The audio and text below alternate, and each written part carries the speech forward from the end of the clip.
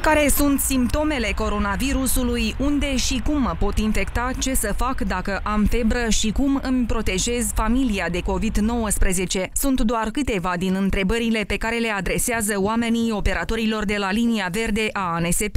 Numărul celor care solicită ajutor a crescut considerabil. Dacă acum trei săptămâni sunau zilnic în jur de 30 de persoane, în prezent numărul acestora depășește 200.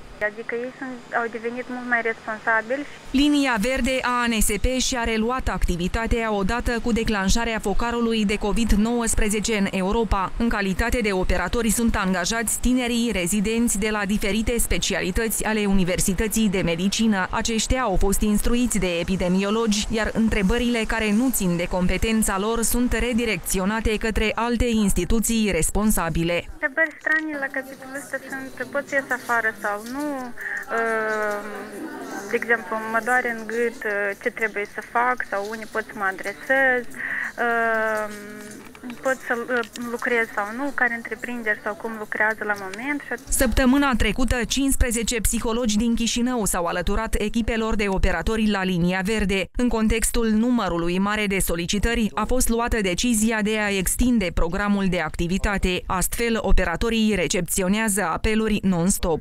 În ultimul timp se recepționează apeluri mai intens până la ora 23 și după ora 23, 2, 3, 4 apeluri pe oră sunt înregistrate cu siguranță.